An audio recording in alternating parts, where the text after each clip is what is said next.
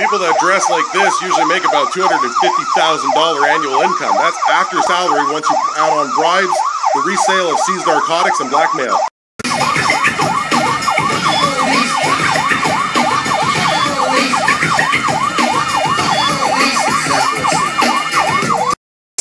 So I was desperate.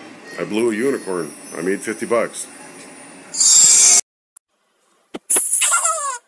This is actually kind of trippy, and I'm just wondering if there's actually drugs out there that let me do this. Like, can I do this all the time? Because I'd be like, you gotta wonder sometimes who comes up with these things. Because I'm like, is this somebody's fetish? Like, change my diaper, spank me a little bit, breastfeed me, and There's a police line right here that I'm not supposed to cross, but how the fuck do I get out of here? This is called like fucking containment or entrapment or some shit. Look at this shit. I just I just can't get the fuck out.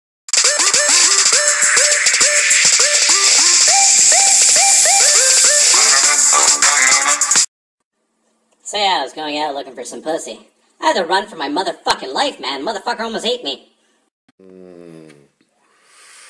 Oh, that feels so fucking good, eh? Oh yeah. Hmm. Da-da-da. Hmm. How do you know that Michael G. Brown photography is high as fuck?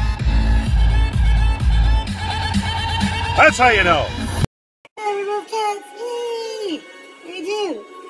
Oh, you don't care because you're a cat. Hey, you're like, fuck you. Okay.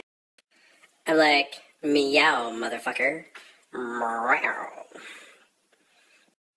And remember, if you like and share and subscribe to my shit, we can help Tourette's, fucker.